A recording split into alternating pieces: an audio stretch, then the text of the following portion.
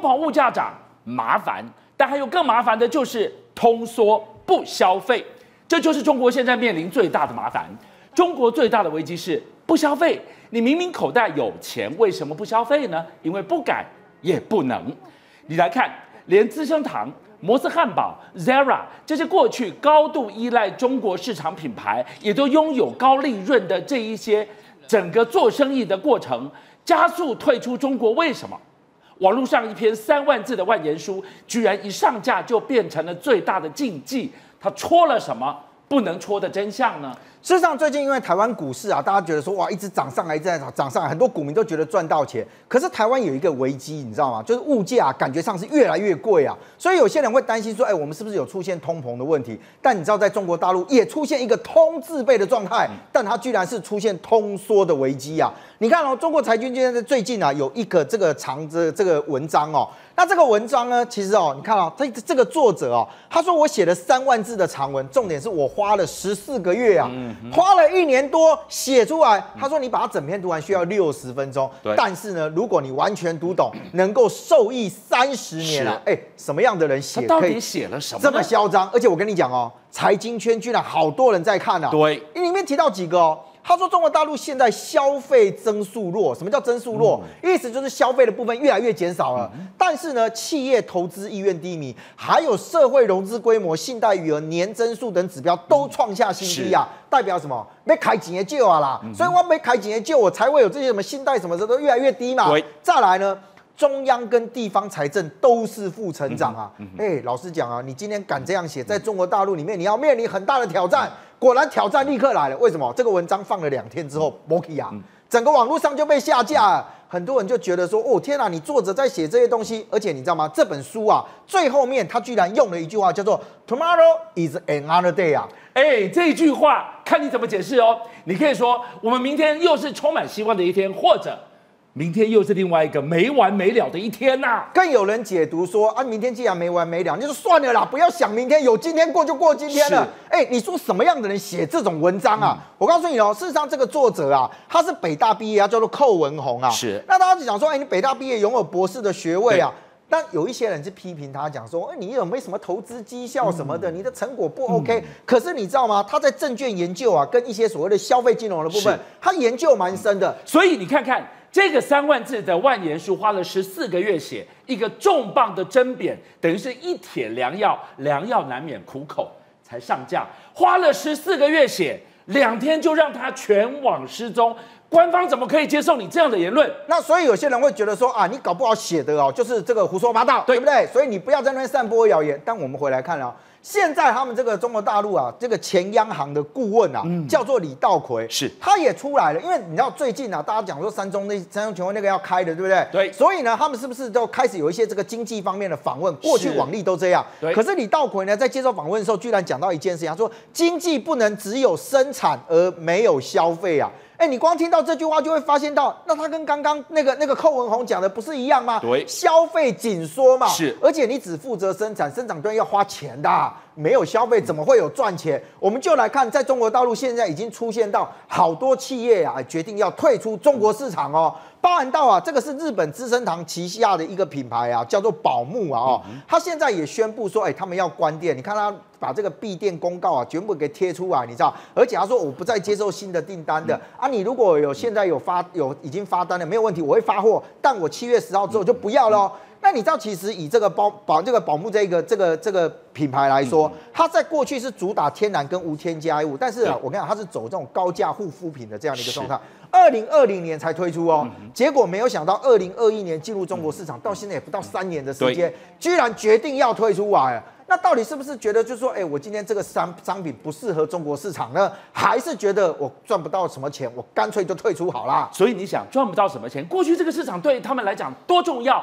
这么高利润，换句话说，退一万步讲，先求保暖，再求衣装精装。换句话说，中国人民这些钱已经能省则省，整个消费就像他讲的，都怠速，都慢下来，都静下来了吗？那我们再看消费这件事情，食衣住行娱乐都要花钱，对不对？那你刚刚看到说，哎呀，你那个化妆品我可以不要，不是必需品啊？哎，我不一定要，那吃总可以了吧？吃总是要吃嘛。民以食为天。哎，你知道吗？日本媒体报道说啊，摩斯汉堡董事会在上个月二十四号的时候决定要再次退出中国业务啊。他之前在一九九四年的时候进军中国大陆，就在一九九七年的时候决议退出啊。是。那二零一零年的时候重返中国，结果二零一五年的时候，那时候曾经开到全全中国大陆二十四家左右。是。他那时候还发下豪语啊，上海嘛，繁华之地啊，我要在上海开一百间。这个一百间还没开成，现在已经告诉你说他要再次退出中国喽，连摩斯都要退出。你要知道，在台湾。随便一家摩斯分店你去看，都要排队的耶。而且后来他们是讲说啊，因为汉堡这个东西可能在中国大陆卖的不是很好，是因为讲说商品定位嘛啊。那另外有一个牌子叫拉软，哎，大家总有印象了吧？它也不是走什么特贵的精品的这个，这是快时尚的一个代表哎。是啊，结果现在也说要退出中国市场。对，到目前为止，它的门市只剩下八十七家。其实最早的时候，它拥有一百八十三家的这个门市哦，东莞、惠州这些二三线的这个城市啊，结果后来被发现到说它有大幅度的关闭。当然，这也有可能，人家认为说，这有没有可能是以退为进呢？为什么？因为我的店营收基本还在，但是我不要开这么多的店，我可以节省我一些的这个开销，让我其他的店呢，营业那个营业额呢，可以有一些的增加。你总是觉得不对劲，Zara 整个大江南北关了快一半的分店，嗯，正常吗？我们来问问一个问题，就是为什么中国人现在明明口袋里有钱，却越来越不愿意消费？两个不，一个是不能。一个是不敢，好好来帮我们解释一下。而且这两个不基本上就是造成现在大家外界认为啊，中国整个消费面临面临到这个所谓通缩的这个危机。我先从这个故事开始讲哦。你知道大陆媒体在最近惊爆一件事情啊，他说哦。他们其实有三个记者啊，在那里卧底那个蹲点，你知道吗？然后就一直看着那个油罐车进进出出、进进出出厂区里面，结果居然发现到有一辆油罐车，你可以看得到，它本来在上面是装煤油哦。对，因为我们现在那个油罐车，那个中国大陆它也要求，就是说你这上面要载要表表明你是载什么内容物是什么？对啊，结果它本来是载煤油，就记者居然发现到这个车子啊要开进去一个一个这个这个这个卖食用油的这个厂区里面呢，哎。居然车子没洗啊！他今天本来上面载着煤油的哦，那你会觉得说载煤油，你开进食用油的厂区，你是要怎么告诉人家说我是来干嘛？他说很简单，他在旁边有一个食用油的牌子，直接把它贴上去就好了。要求我前一趟里面是煤油，洗都没有洗，洗我都不确定能洗干净。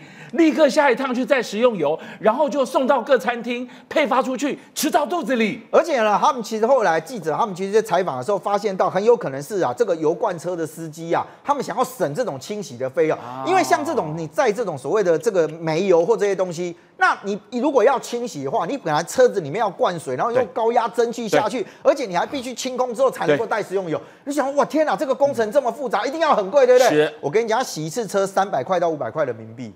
九告就贼吗？没有很多啊，没有很多，对，连这个钱都省。你要省就用最贵的啊，八九千、八九百块人民币啊，啊，你换算台币也不过就四五千块钱而已。结果哎，连这个钱你都省下，为什么？因为很简单啊，啊，我今天这样能省一块是一块。那我问你啊。如果这个新闻爆出来，你敢吃那个油吗？当然不敢了！哎，人命无价，你连良心都省掉了。这就是第一个不敢呐，我不敢消费，而且不是一个例子而已哦。事实上呢，他们那时候也踢爆说，有毒化学品的这个运输车直接违规装载这个所谓食用油，而且你知道这件新闻是在什么？二零一五年的时候就已经报过了，没断根啊，没有断根啊。所以呢，你就回来看，你一定会说，哎，会干这种事的一定是小厂商啦，哎，你不知名的黑心厂家没。没有，为什么你知道？来，你看哦，这一次踢爆的里面被进去这搭载这个所谓的这个没有清洗过油罐车的，居然是中储粮哎，中储粮是大型的国有企业哦，国企也敢这么干？哎，国企你这样，而且你拥有三百三十八个所谓的直属库，而且负责存储中央的储备粮跟油，是。跟中央扯上关系，你今天都出现这种问题，那你告诉我，你敢买吗？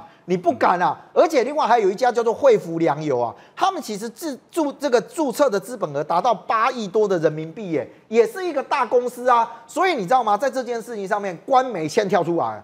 包含央视跟人民日报，哎，其实对这个现象都一直在骂。央视说，哎，你这样跟放毒有什么关系？有有什么不同？甚至人民日报也出来讲说，食品安全大于天啊。但我也讲实话，官媒是归官媒啊。那你今天这一些连国企都敢这样干的时候，那你对于其他小商家所做的东西，你觉得民众敢消费吗？你敢消费吗？你更不敢买，你更不买买，商家就更赚不到钱，更赚不到钱。那个死亡螺旋就开始运转了。那你说不敢买，那表示我有钱，但我只是不敢买而已。但另外一个不能叫做什么？是我不能买，我想买我也买不到，因为很简单啊，不是买不到，还有买不起呀。中国大陆官方数据显示说，有两亿的人口现在被迫选择要做灵活就业啊。你的灵活就业，天哪，这什么？什么是灵活就业？哎简单的白话文讲，叫做打零工啊，找不到正职就去打零工嘛，有工你就来啊，没工就没就就就就不用来了，你知道？而且你知道打零工这个两亿的人口，约占总劳动人口的百分之二十三，是将近四分之一左右的就业人口，居然是用打零工的方式，而且这个这个东西啊，不是一时一时出现的，它居然成为劳动市场的新常态啊。那包含南华早报啊，其实它过去也曾经有这个这个报道。他就讲说呢，现他们曾经对这个房地产啊、网络、汽车跟金融事业啊，这个市值排名前五大企业跟三大知名的电动车商啊，年报的这个所谓的金融综合评估，居然发现到这一些企业里面有十四家都在去年开始陆陆续续裁员呢。你刚刚盘点的那几大企业，应该是创造的最大量体的就业的机会。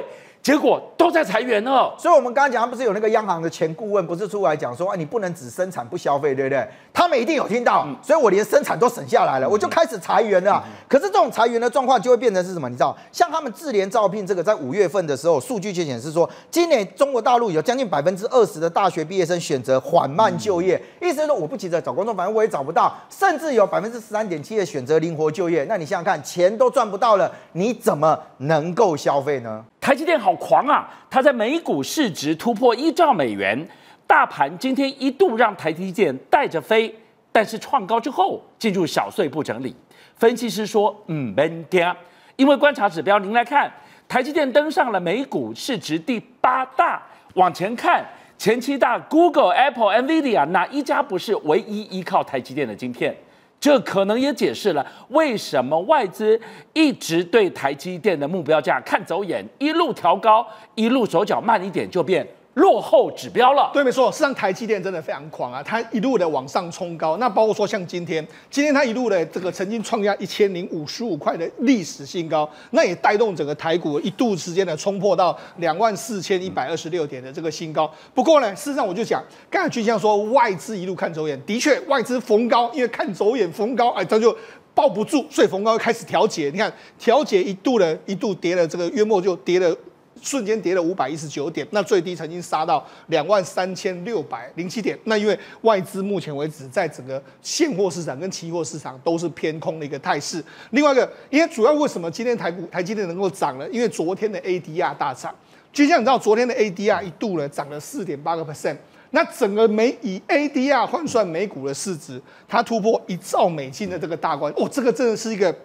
历史的里程碑，那也带动了整个台积电往上冲的一个状况。那目前为止来说，它的市值真的，我觉得台湾呢这么小的土地有这么大的公司，大家真的觉得非常非常的夸张。为什么？你看全球前十大市值的排行榜里面来说，第一个苹果，苹果昨天又赢过微软，然后第二是微软，再来是辉达，他们都是三兆等级的公司。另外紧接着是 Alphabet、亚马逊，这个两个是两兆等级的。那另外一个是阿美石油、Meta。以及台积电，这个约莫都是一兆等级的，所以等于是说三兆、两兆、一兆等级的，这个是全世界的前八前八强，台积电排第八。但是美股来来说话，你只要把这个阿美石油扣掉的话，台积电在美股就排第七，而且还力压什么？力压巴菲特的波克夏，甚至也力压这个所谓特斯拉，成为这个世界上非常成为美国排行第七的这个市值的这个科技公司。而且比较有意思的是什么呢？你仔细来看哦。苹果、微软、辉达、阿发贝、亚马逊、Meta，他们都是车台积电的客户啊，所以也就是说，台积电其实是他们的一个非常重要的幕后的军火供应商啊。所以你看，台积电能往上涨，当然没有问题啊。那尤其是未来五年 AI 的相关硬体的年复合成长率高达五十趴，那五十趴又占这个台积电营收的这个二十趴，所以你知道，事实上目前为止来说啊，整个台积电可以说是庆该俩没雕啊。为什么？现在美国啊，很多人就说了。过去都说是什么美国是什么惊奇七超人，现在要把台积电纳进去，你知道说台积电的地位跟过去真的完全不一样。接下来我们记住两个时间点，一个是明天要公布六月份的营收，是一个是七月十八号，这是魏哲家时代的第一场法说会，对，成绩肯定是不会太差，所以可不可以告诉我们，在此之前还有多少的利多消息出来？而这些一路被压着打、一路看走眼的外资，又要怎么去调高台积电的目标价？对，没错。实际上，今年的这个外，如果你看外资的这个报告来说，你会觉得，哎呦，外资怎么是一路在追着台积电的股价跑呢？为什么这样讲？你看七月多以来的话，外资开始看多台积电，像摩根斯丹利，摩根斯丹利已经把它目标价从一千零八十块调到一千一百八十块，那摩根大通也是重申到一千块的这个高价，麦格里调到一千两百块，然后瑞银调到一千零七十块。事实上，这里面来说啊，摩根斯丹利他们今年已经八度的上调，从年初的六八八调到一千一百八十块。大家说，哎、你原本什么领先指标，你现在变成是落后指标。那过去其实外资目标价都会定的高高的，然后慢慢慢慢抵达，有时候外资的目标价没有到就下来了。就这次是这样。台积，你定了台积电的目标价，往往就是到，而且你还在后面被调整突穿所以呢，实际上这个是台积电的业绩呢，也有一点跌破外资原本的预估啦。好，那我们就讲，实际上明天它要公布财营收。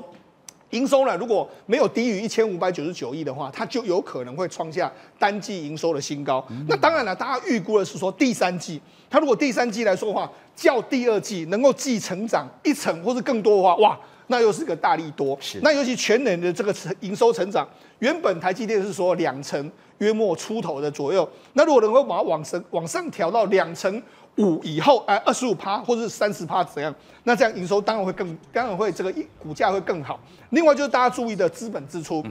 资本支出原本预估是两百八到三百二，三百的中值。如果把它调到三百到三百二的话，哇，那整个业绩一定是往上爆发上去，股价往上爆发上去。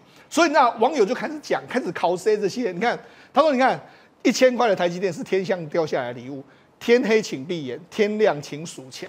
那另外在大基基真的大巨居就是台积电，真的连放羊的大摩都压不住，大摩一直不断这样，你看，然后大小摩完全对变成是落后指标，大家在那边笑嘛，对不对？那我们就讲，事实上目前为止来说，我觉得大家可能真的还没有完全认清台积电的价值。为什么这样讲？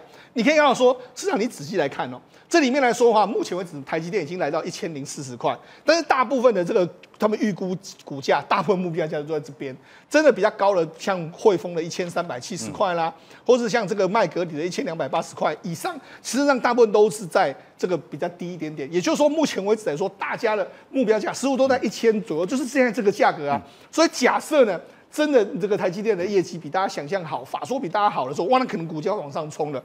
那统一投顾的这个方这个地方我就说，外资券商也是看股价办事的、他认为十八号的法说会释释出正面消息之下，这个外资应该还会在上修目标价，所以等于是今年的台积电涨到连外资他都认不清楚台积电的真实的面貌，你就知道台积电真的非常非常的狂啊！好，眼睁睁看着台积电带着台股飞，那中国呢？中国怎么可能甘愿在那边干瞪眼？于是就蹭，想方设法的蹭，居然在台积电相关的每一项排名的背后，都给你贴上五星旗，给你贴吧。安内甘姆卡特懂，对老谢到底看到了什么危机？他警告说，日本的三十年失落这一件事情，对已经找到传人了，棒子直接交给中国，真的吗？对，没错。那事实上，目前为止来说，中国的科技业好像被隔离在美国的这个封锁之外。那当然了，台积电这个市值创了这个新高的时候呢，中国也觉得说，哎，与有荣焉呐、为什么这样讲？你看，这是中国相关财经媒体的这个报道哦。你看，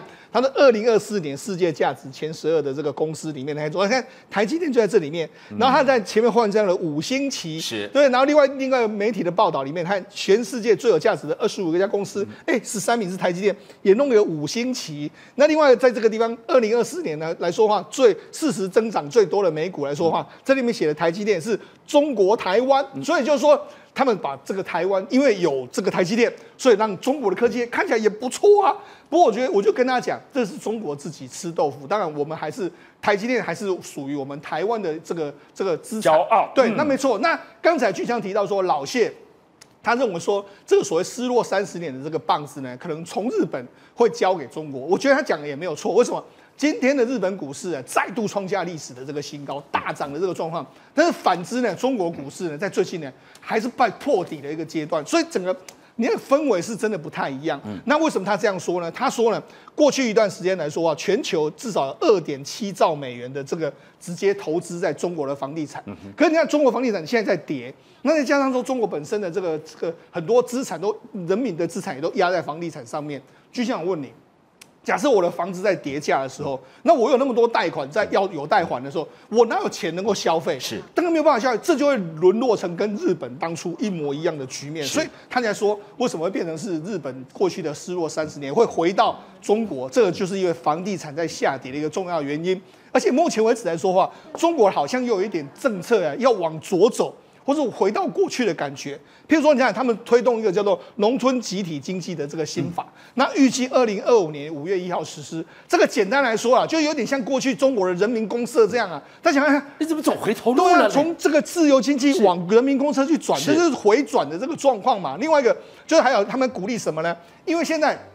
城市里面的房子撑不住，那撑不住怎么办呢？他们就说：“哎，这个农民啊，你们呢弃农村宅基地，然后到城市买房啊。”也说很简单，这个包说，你看农村的地方，安徽的这个凤阳县，他就说鼓励一次性的五万块啊，让你来买，就是农村的人可以买。那南通的话，就是奖励补助款在一点五趴，所以这等于是这样，哎，割韭菜，城市的这个新鲜的韭菜割完之后呢，现在都找到农地去了。那农地来说，你又说什么？农地要回到人民公社，这一切一切都对中国经济投下不确定的因素。横估中国经济，我们给大家看两个最血淋淋的指标。又一个高端奢侈品牌卖不动了，Burberry 居然因为整个业绩大跳水，要大裁员四百个人，能止血吗？就连是金融业的金童上海。平安银行传出恶意裁员，一口气几千人遭殃。对，没错。事实上，这个中国的不景气也遭，也让很多名牌遭殃。这里面是 Burberry，为什么？因为 Burberry 英国品牌，它过去一段时间呢，中国英国关系非常好，对，所以它在中国大大肆的扩张，而且中国人也很爱买。就没想到过去一段时间来说的话，这个中国的消费力道减缓之后，你看 Burberry 的股价是一路下跌，跌到这个十五年来的新低。那它也要展开，被迫要展开四百人的这个裁员。那上次裁员的时候是新冠的期间的时候，裁了五百人。好，那为什么中国很喜欢它呢？因为是一个，它是一八五六年成立的一个公司，而且它是英国皇家的御用保证啊，对不对？所以中国一开始我非常喜欢，但没想到呢，它的销售，因为它大举往中国去之后呢，它整个中国市场的销售在二零二三年的第四季呢，大跌了百分之十九。是，那尤其是它的总营收，中国是占它百分之四十的营收，所以你看，哎，百分之四十的营收出问题的时候，当然让 Burberry 也都不知倒地的一个状况。好，那除了这个之外来说，我们知道。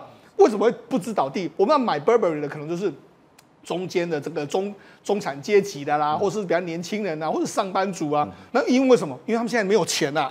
为什么没有钱？你可以看，我们知道之前这个 COVID-19 不是有所谓动态清零吗？对，就他们现在也在动态清零。他们动态清零清零什么呢？北京、内蒙还有四川等地宣布推出所谓的零就业家庭动态清零，就是说，哎，有一些没有工作，那我们就试出一些短期的工作。反正你有工作，那就是零了嘛。我不准你挂上失业的招牌。对，没错。那你看，事实上目前为止来说话，二零二四年就是今年的应届毕业生，说实在，你看就职率只有四十一趴，有百分之五十九的人是找不到工作。另外，应届博士班的话，只有百分之三十三倍率，因为博士班、硕士班要求的钱更多，现在没有办法这样。所以你从这些蛛丝马迹，你都会闻到中国经济真的不景气的一些状况。还有一个指标，更大的警讯是。向来会让人非常羡慕的金饭碗、银饭碗，我们讲的是金融业的这些人生胜利组，是现在遭殃，第一个要砍的砍向他们啦。对，没错，实际上中国的银行的一，这这个所谓的他们的薪水或是福利，都是中国数一数二，嗯，他们比台湾的银行要地位高很多。就没想到中国银行也是一样，你看这是中国的平安银行。他就说啊，因为我们现在营运不好啦，我们现在要削减成本啦。不过把这个上海一百多名的员工呢，把他调到深圳总部。然后如果你不愿意的话，哎，我就把你裁掉，或者把你这个给你补偿金，这样等于是变相裁员的一个状况。哎，说真的，把把你从上海。海调到深圳，哎，这不是从台北调到高雄，这调的非常远呢。所以当然当然就是说你这是恶意的要他们离职的意思嘛，对不对？那尤其是今年五月有传出所谓员工当月的这个绩效奖金被绩效被降薪的这个状况，就是现在目前为止中国降薪讨薪不断的在中国的银行出现啊，所以这要变成什么样的状况呢？上海交大的李这个李峰教授甚至还喊话，因为最近呢，中国从上到下大家都在割金融业的韭菜，所以很多人觉得说，哎呦，我当金融业可能很苦啊，所以他就说不要以从事金融业为耻，就是他们还是好工作。但是你看，你有没有搞错？哎。这件事情怎么这么颠倒是非？什么时候、什么时代从事金融业居然变成一种耻辱？对，因为为什么？因为今年听到都是被减减薪降薪，然后被追奖金，然后才样贪污腐败一大堆，所以就这样，所以就你知道这个就变成是一个非常不一样的这个这个局面。那事实上，尤其是中金公司，我们前日不是讲到一个正兴的这个女生坠楼的事件吗？一个学霸，对，她就是中金公司。那你看中金公司来说的话。他二零一八年的时候，当时的这个这个年薪来说啊，大概是三百万，然后到二零二零年的时候是五百一十四万，哇，就后来又往下降。所以你知道，事实上目前为止来说，整个中国的这个中金融业也出现了一个危机的这个状况。那你更不用讲，金融业通常都是一个国家的血脉就对了。你血脉的时候不好的时候，那当那个国家当然就不会身体就会对。另外一个就是网络业，因为中国网络业事实上是非常风风火火。那尤其是中国版的这个脸书叫做小红书，那照理说，哎呀，一定会非常好啊。就没想到，你看字节跳动，然后这个淘宝，它挖了非常多人到小红书来，就没想到小红书呢最近营运不是很好，它怎么办呢？它居然也要报要裁员，裁它百分之三十的这个员工。那尤其是因为这些人呢，大部分都是你刚到没多久，到职大概只有半年的这个时间。那尤其是里面已经很少有人超这个到超过这个两年以上的这个时间的啦。那另外一个，他他们就说，如果你年纪很大了，我也不想要招聘你。所以等于是说，你现在呢？在中国，你面临到，如果你过了三十岁以上，你真的很难找到工作。那尤其是你就算找到工作的话，可能没多久的时候也会把你裁掉。就算你领到薪水的时候呢，搞不好他最后还会把你薪水讨回去。所以那事实上，现在中国年轻人怎么办呢？啊，算了算了，来来邓贺，不想努力了。对，你看百分之三十的中国年轻人做什么呢？他们躺不平。然后卷不动，所以呢怎么办呢？就在青年养老院里面，你看这是青年养老院，什么东西啊？对，你看没有？你看青年养老院，哎，真的是这样啊！就是说我来让这些所谓的你可能在外面受到创伤的身心灵的年轻人呐，哦，你就来到我们这个地方来吧，就类似我们现在看到这样来短暂的逃离，然后可以放松充电身心的这个疗愈，然后一个月大概是一千七百块人民币左右的这个状况，他看了就傻眼，哎。老人的养老院，大家看了就已经很瞠目结舌。你还有青年的养老院，青年不是应该要打拼的时候，还有机会跟希望吗？对，你怎么在这个地方这样子这样弄呢？那因为为什么？我就说躺不平、卷不动，没有工作可以做的时候，当然对这些中国年轻人来讲话，人生没有着落的时候，那就真的不如去青年养老院养老好了。所以我们看到了冰室大热卖，见证了台湾籍 m 卡巴，就像是我们看到了保时捷卖不动。它见证了中国经济在下行，现在更大的冰风暴在这个地方。观众朋友，你现在看到的是两岸交流的样板城市平潭，在这里居然台商外资全员逃走中，而当地政府却如此的无能为力。你看看这么空洞化。另外一个地方，经济火车头富士康龙华厂腾讯总部所在的深圳，你看到这一段影片。狼磊，什么叫做四十趴的失业率？连深圳都小轰的话，那其他的大小城市岂不更艰难吗？如果对照台股最近不断的飙新高，中国的 A 股现在大概只有一个字叫做惨，如果叫两个字叫很惨，第三个字就是惨兮兮啊！到七月五号为止，中国股市有七百六十五档的这个个股居然跌破净值，哎，是占它整股的整个的这个整个全部的 A 股有百分之十四点三，甚至创下二十年来的这个新高。而且其中你知道吗？我们刚刚提到说有这么惨的里面，还有国营企业达到百分之四十五点九的这样的一个比例，哎，太惨了！这应该是最有保障的。我买你的股票，我应该就是保老本。该够白努力，我通通跌回我的票面价之下了。所以你可以看得到，投资者如果看到这种数字，怎么敢在这里投资呢？你光看一个哦，二零一零年到现在为止，台湾企业对于中国投资，事实上比例一直在下降。甚至二零二三跟二零二二这一年相比，下降将近百分之四十左右，还不到二零一八年水平的所谓的三分之一左右。对，那这个当然第一个指标啊，就是在福建平潭这个地方。平潭在过去是被视之为叫做向台商招手啊，一个最重要的一个指标。没错，很多特区啊，很多建设都说从平潭这边开始，是，所以你可以看到有什么新平潭啊、新家园。对，但是呢，现在居然被人家踢爆讲说，他原先那个地方有一个针对台商企业招手，做了一个叫做台湾小镇的地方。对，居然现在哎，全部都空荡荡啊！你在画面上面所看到都没有人，就算是平日也应该有小猫两三只吧。是。结果你这样看过去，只有两三个路人在那里走路，几乎都没有什么啊！哎，这个大批的人潮在出现了。二零一八年两岸其实在热烈的交流的时候，那个地方是熙来攘往的。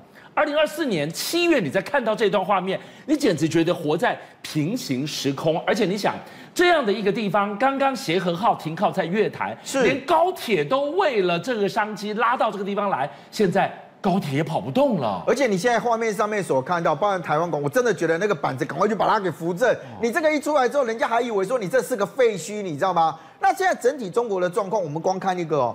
国内金融三业就包含产险业啊、保险业啊这些寿险啊这些，哎，他们对中国也出现铺险年减一千三百六十亿左右，这说明什么？钱通通搬回来了。是因为其实啊，大家会担忧嘛，所以你可以看到，以中国这个经济上面来讲，像深圳啊，深圳过去也被认为是哎中国经济的火车头，带动整个中国经济大量往上冲的一个指标性啊。深圳是中国南方最重要的一个发展引擎，哎，是，结果没有想到它。Q 一万的这个失业人口居然年增百分之四十啊！那这个地方啊，其实很多人就会讲说啊，深圳其实像画面上面所看到，应该是人潮非常多。哎，我讲着讲着，怎么突然变成这样一个状态？这是深圳啊！哎，现在深圳有很多地方啊，真的出现这样这样失业的人啊，或干嘛，直接就在马路边啊弄一个吊床，感觉很惬意，对不对？但其实啊，对经济发展来讲，这不是一个好的现象。那你知道吗？之前有一个香港这个男子啊，他这一啊之前拍了一些影片，就讲说哦，那个深圳地方很惨，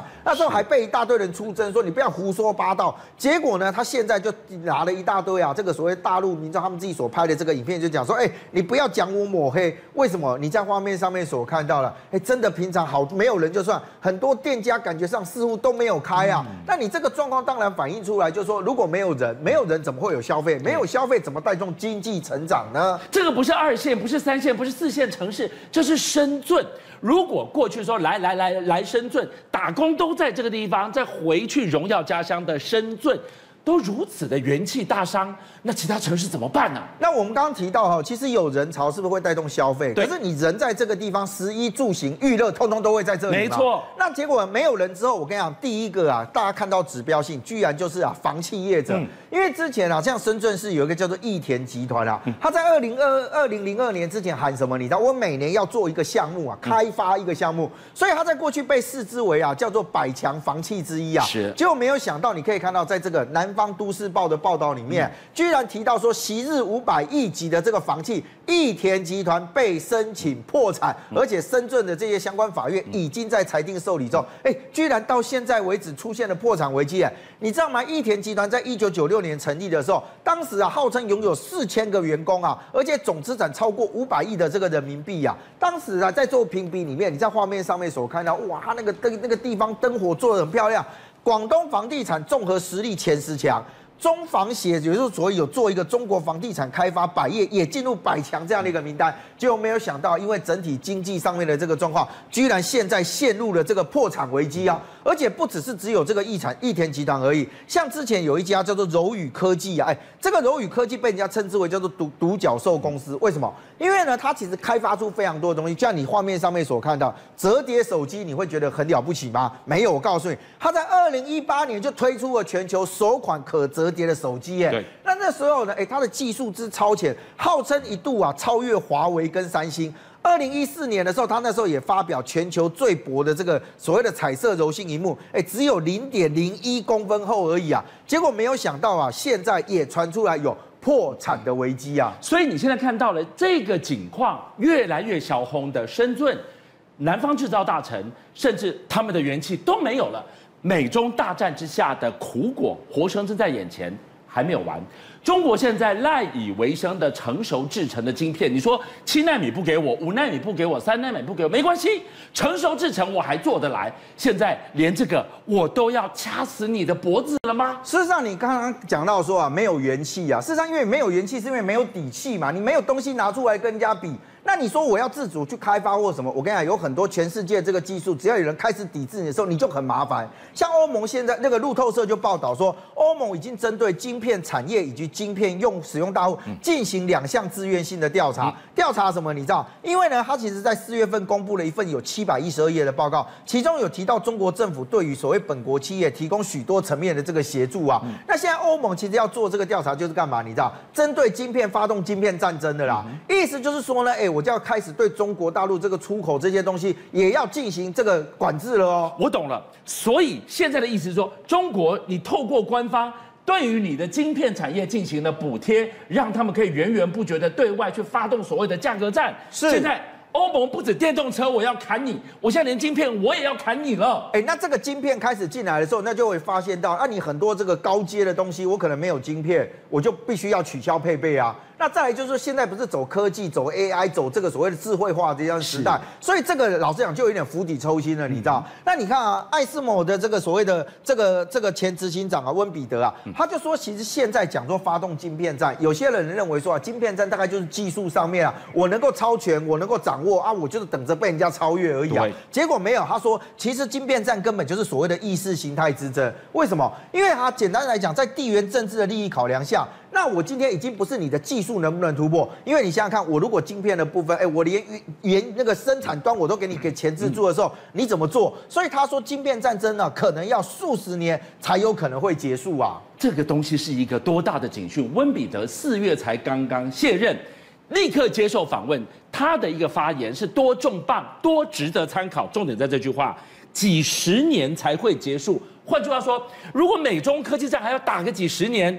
英雄比气长，中国能等吗？它有几十年能等吗？其实我们刚刚提到，就说我今天成立了，跨越了一个门槛之后，很有可能就怎样会被后人再给超越嘛。可是这个超越跟超越的这个过程当中啊，大家就会来看你实质能做到多少，你知道吗？去年底啊，上海张家集团曾经在他的官方微信公众号里面啊，发出一篇文章，他说呢，上海微电子这个成功啊，研制出二八纳米的光刻机啊，哎，你要特别发新闻表示好。好像哎，这个应该是一个很超很超前的突破，对不对？可是观众朋友一定会觉得说，哎，等一下，我们现在在谈不是三纳米吗？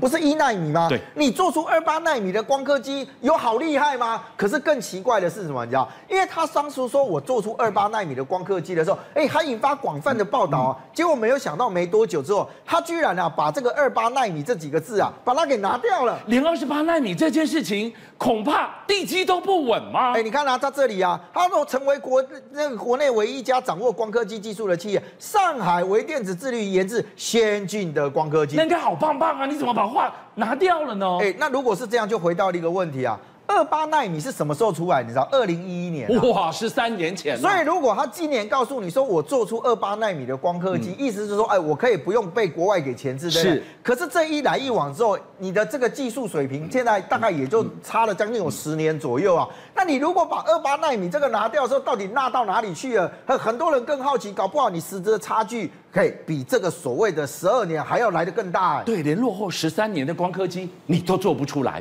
而今天，如果你有翻开报纸，搜寻一下网络，你会看到这个非常恐怖的阴谋。因为中国现在前置于技术不如人，材料不如人，怎么办？我就跟你鱼死网破，会吗？其实你看到在这个报道里面提到，全世界百分之六十五的这个所谓的这个半导体的东西啊，你看它的市场来自于哪里？百分之二十八呢，其实是来自于南韩。那另外台湾的部分占比有在百分之二十二。那中国大陆本身其实有百分之十二。那这个半导体的分析师啊，叫阿肖姆啊，他就其实就提到说，为什么现在地缘政治这件事情呢，甚至跟战争呢，哎，会发生息息相关？因为他说，如果北京想要摧毁台积电，加上北韩对南海展开攻击的时候，那你想想看，这两个占比是不是将近到了百分之五十左右？这就会重创台韩两国的这个所谓的半导体的这样的一个产业。那你中国大陆现在虽然只有十二趴的这样的产量，但是如果台湾跟南韩都陷在所谓的战争纷扰当中，对于半导体的这个部分呢，哎，生产产生一些影响的话，很有可能中国晶片业会从这个地方下手，反而呢扶摇直上，因为你这个百那么大的一个占比全部都被这个钳制住的时候，换中国大陆说，哎，我的晶片业可以取代这个，很有可能到接未来的时候，产能还超过美国呢。大家都在问中国经济到底怎么了？放五十年的债，追三十年的税，事情真的比你想的还大条。一般我们认为富到流油的上海，现在居然政府已经收支不平衡、入不敷出的情况之下，居然要去跟庙宇掉头寸，这件事太夸张了吧？俊亮哥，我只有听过这种阿弥陀佛，佛度有缘人，来施主画个圆吧。对就是这是我们讲和尚去跟人家化缘，那我们就是布施进去了。哎，布施进去，我从来没有听过，竟然有政府跟和尚化缘的，说哎呀，阿弥陀佛，这个我们讲了这个小和尚啊，老和尚啊，来化点缘给我吧。是开什么玩笑啊？就上海在干这种事情，他们最近传出个消息，说上海啊，整个资金有出现这种大缺口，结果没有想到呢，竟然呢跟我们讲的寺庙佛祖。化缘一次就化了四百四十八亿，结果呢，这个消息一传出来，网络上传的沸沸扬扬，说太离谱了吧！马上呢，上海说，哎呀，我们要辟谣，我们要辟谣，绝对没有这件事情。但被点名的说什么？有九间寺庙，其中有一间叫做静安寺。啊，竟然花了四十八亿的人民币。但你说这件事情到底真的假的？我们得要先看看静安寺有没有这个能耐去化缘，或者是被化缘。但静安寺我讲，还真的有这个能耐。你仔细看哦，你先看它这个屋顶，金光相向，各位看到不？不好意思哦，这个叫做纯金佛塔。光是这个佛塔呢，你知道它的屋顶价值多少钱吗？拉扎亿，就价值了六十亿元，甚至他们的香油之鼎盛哦，最近还传出一个，就是各位你看到旁边这个叫做信托计划，有没有看到二十四个月？这个信托计划是什么？代表在这两年之内，他就已经赚进了十五亿元的基金，所以你就知道金价就欧呀呀，他们是真的有能耐，可以去救苦救难、救济上海市。但为什么说有可能去跟寺庙借钱？听起来很荒唐，对不对？不好意思哦，中国真的有潜力。以前呢，他们在二零二三年的时候，天津、河北的政府啊，就是发不出钱了，发不出钱呢，想说跑去跟寺庙化缘，跟寺庙化缘一次花多少钱？花了三亿元。那时候呢，大悲寺真的发挥大慈大悲的精神，还把三亿元借给他了。结果没想到借完之后呢，隔没几个月，冰冰凉凉，又跟你讲又没钱了，天津、河北又没钱了。食神之味，哎，又跑去说，哎，这这个这个这个和尚，我们再画个圆吧，我们再画一次好不好？结果没有想到呢，妙方马上拒绝说，哎，你这样都有借没还的，我没有办法再背苦你了。就你知道没，办法背苦你。哎，你知道天津河北市政府干了什么鸟事吗？是不是他们直接跟你讲说，哎，好啊，你不跟我化缘是不是？我马上整治你。像说，哎呀，你的环境啊、清洁啊、整洁啊什么有问题，撕破脸了。我列了十几项，反正我就在是调查你。你庙给我先关门大吉，黑用 Q 的嘛，对吧？这个港不不毛就很 Q 的嘛，啊，对不对？哎哎，柿子这个挑软的吃，哎，我给你给你甜头，你不吃，我给你棒子啊，就这种态度。哎，我觉得这件事情严重的地方是在于哪里？哎，北上广深都应该是最有钱、最发达、税收最饱足的大城市，上海出包了，那其他地方怎么办呢？我跟各位讲，如果上海沦陷哦，真的要去跟佛祖化缘四百多亿，我跟你讲，整个中国都垮台了。你知道为什么吗？我们看到这张债务出资表，你就懂了。这个最上面的就是上海市，上海市是唯一有盈余的一个县市，一个地方政府哦。是但你仔细看看整个以下的，有没有看到绿绿的一条，绿绿的一条，就跟我们的股票一样，全部这个叫什么？负债代表入不敷出，我花的钱根本不够我进来的钱。那你想想看，越来越多，越来越多，越来越多，整个中国除了上海之外，通通包括北京在内都在赔钱呐、所以你看，北京现在惨到什么程度？连薪水都发不出来。他们就在讲说，最近政府啊在忙的一件事情，哎，天子脚下，你开什么玩笑？天子脚下应该是要富到流油啊，不是？结果是政府借钱去发薪水，而且整个社会我们讲的不只是公务员，普遍都欠薪。但这个欠薪呢，它也凸显在一件事情上，因为对于这种四十几岁、五十几岁来讲，工作很久了，我顶多就减薪而已。但苦是苦到谁？年轻人。他们现在北京人就在讲，我跟你讲，我们这个光年轻人就业啊，百百分之五十啊，竟然都失业啊，百分之五十哦。都失业。换言之，人家讲毕业即失业这句话原本是开个玩笑，结果没有想到在北京真的是毕业即失业，甚至是有人惨到什么程度？惨到连北京当局都说：“哎呀，不能再失业下去了。”动态清零，你说宇轩，难不成 COVID 又回来了吗？中国又要搞哪来的动态清零？哎，没有没有，这失业动态清零，就是想尽办法，阿猫阿狗对不对？不见，哎，你给我生出工作来，反正我不管你什么东西，你就是给我去工作，一个一个小时十块钱你也给我去做，就是用账面数字的美化方式，要把这些失数失业数字。全部给砍除掉，但请问一下，有用吗？如果就是没有好的工作，如果就是没有办法喂饱肚子，那请问你动态清零，那变成只是什么走形式主义而已。有工作的人哦，恐怕也不好过。我刚刚是不是跟各位提到，他们所谓的动态清零会造成很多大量的减薪潮？为什么？因为羊毛出在羊身上。是我总共的收入就这样啊。我说你要我雇佣员工，我只能把其他人减薪了，所以导致上海哦一样哦。最辉煌的地方哦，有一个中金的一个员工，你知道他产生什么状况？他刚好被降薪了。哦，这样可能工作到一半呢，他本来整个原本的水平收支都打平，对，还有房贷，对，就降薪之后，他变成什么样？入不敷出了，过不下去，活不下去，所以他最后直接你知道轻生哦。降薪之后，我房贷付不出来啊，是我每个月我房贷要付三万五，那我原本工作五万块，刚好尬平而已。结果你现在把我降薪变成四万块，五千块我怎么活？所以他就人生压力太大，对于未来感到没有希望。而且不只是这样，很多人呢没希望之后呢，虽然不会轻生，但你知道他们干嘛吗？躺平，他们只要躺平下去，什么事就都没了。所以现在呢，中国年轻人最流行一个叫做鹤岗话，你知道鹤岗话是什么？黑龙江有一个叫鹤岗的地方，那边的房子根本没人要，便宜到我们讲的可能几十万就可以买一栋了。所以现在遍地，他们年轻人都在找什么？是说我不用好的工作，我只要买得起的房子就好了。所以看到这个地方，观众朋友。当微软、亚马逊跟苹果加码投资台湾，确立台湾亚洲数据心脏的地位，中国呢？现在中国却上演了全员逃走中。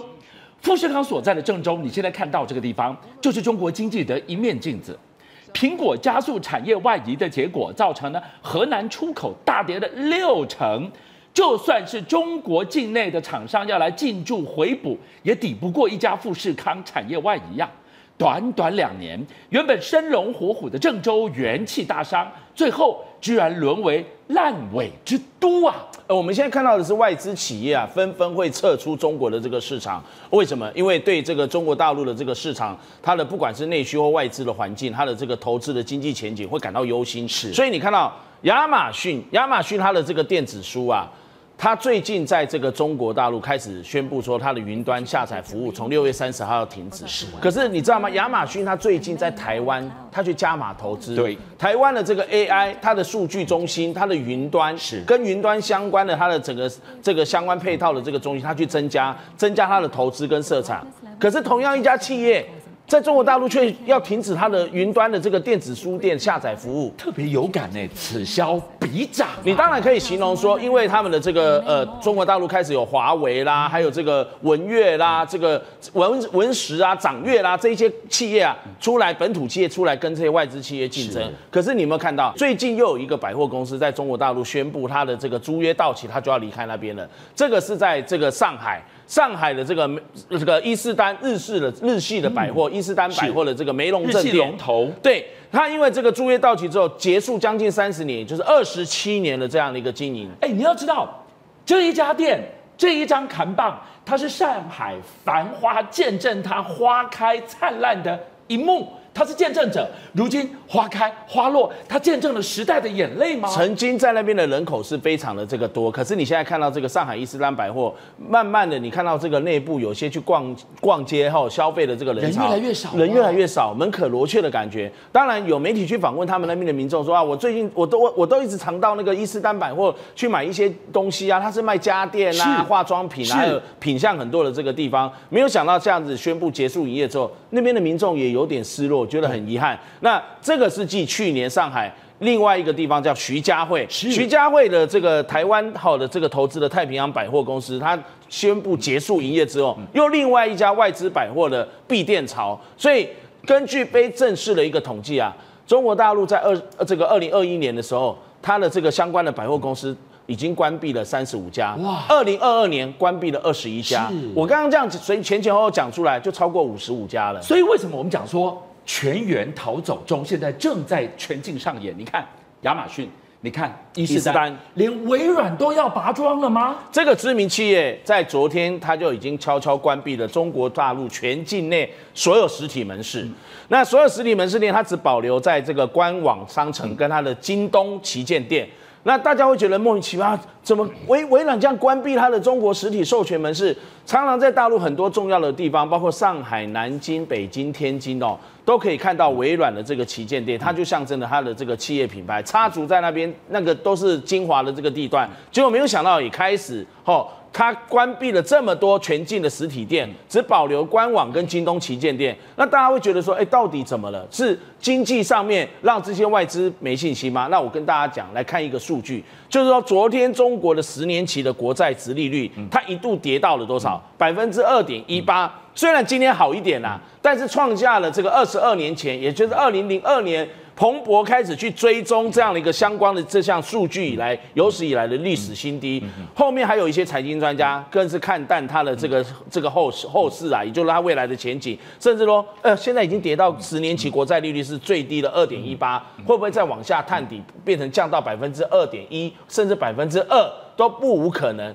所以你就看到说，曾经是全球大家争相要抢进最甜、最香、最大的市场——中国市场。现在外界看待它的信心越来越低，越来越低了吗？今天给大家看到是最有感。今天你听静平讲这段故事最有感的三排字，就在这个地方了。中国大陆的社会现在流行的这个一批，你要说顺口溜或者是对联都可以，因为上联呢叫做放五十年后的债，下联叫什么收三十年前的税，横批呢吃干捞净。这个大家会听得一头雾水，但我就先跟大家讲，什么叫做放五十年后的债呢？就是六月十四号，也不过就是上个月中啊，中国大陆的财政部曾经发起了一个五十年期超长期的特别国债，总额三百五十亿元人民币，也就是到了二零七四年才会还你钱呐、所以我借你钱，我要跟你对赌五十年的国运呐、那我还要先赌我有没有五十年后的寿命啊？以这样的一个状况，如果是一个四五十岁的人去买这样的一个国债，那你不是等到了九十岁以后你才能够拿到这个收益吗？对，而且还要确确保你这五十年当中不会发生任何意外这。说明什么？说明现在发债单位中国政府他们非常非常需钱，需要 money，口袋虽然曾经很深，但是现在掏不出现金，是就要民众说我我我跟你借到五十年后，那大家会觉得那受三十年前的税。不久前哦，六月十三号，这个曾经发生说倒查三十年的补税，后来变成紧税和这种作战。我就跟大家举一个例子，那时候是发生在广东的珠海，珠海有一家一九九七年就已经倒店不再经营的一个这个商店，结果他不再经营的话，呃，你你当时如果他 close 了店，他如果还欠什么税，在当时他申请不在这个闭店的时候，你就要查清楚。结果没有想到九七年以后的二十二零二四年哦，也就是二三十年前的这个倒店，现在二零二四年的相关的这个珠海相关的部门，他竟然要去追查说，哎，你还欠了我大概多少钱？几零年总加起来将近九十七万元人民币，就将近一百万人民币的税。那店家一定觉得莫名其妙啊！那当时你不跟我追，到了二零二四年才跟我讲我还欠这个税，所以就被网络上很多中国大陆的民众批评说，你收税收在三十年前，所以变成了放五十年后的债，收三十年前的税，吃干捞净，才会形容说你们这些各地方省市县市政府是有多穷，已经财政被掏空了吗？说到底就两个字：没钱啦。中央没钱，地方政府没钱，一路到县城都没钱了，怎么办？谁会成了最大的牺牲者？呃，那当然是地方县市政府，还有老百姓，尤其是老百姓。中国的审计署发现说，高达六十六个县市政府，六十六个县，它挪用了大概十九点五一亿元人民币，也就是大概新台币八十七亿四千多万元的农村学生营养这个改善补助金啊。我们常讲，再怎么穷都不能穷学生，再怎么饿都不能让学生饿肚子。结果没想到，农村学生营养改善补助金。将近八十八亿元台币的这样的一个经费，被这六十六个县政府拿来偿还什么政府的债务？政府一定有地方的债务嘛？还有支付基层的三保，保什么？保民生、保工资、保运转，好、这样的一些基层的一个根本支出，也就表示说，中央除了没有办法再补助你地方了，你地方的自筹裁员部分，你竟然把脑筋动到了这个急急救钱，给最基本的这个孩子学生他们的这个营养改善的这个，有些是怎么样改善？他跟这个厂商，比如说团扇的厂商讲好了，哦，给你多少标之后呢，然后他会有一些回扣，回扣的时候是回馈给政府，那本来你应该再去改善老那个老百姓给学生才对，但是他不是，那这些呢就拿来去还钱，那你一样涉及挪用，挪用这些钱被中国审计处发现。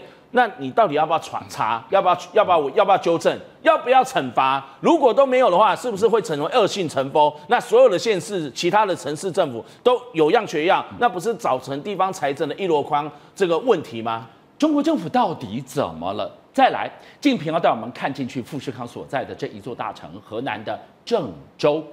郑州。自从苹果开始产业加速外移之后，它后来起了什么翻天覆地的变化？而从郑州这一座城市，我们可以窥见整个中国经济现在出了什么问题。讲到河南省跟它的省会郑州。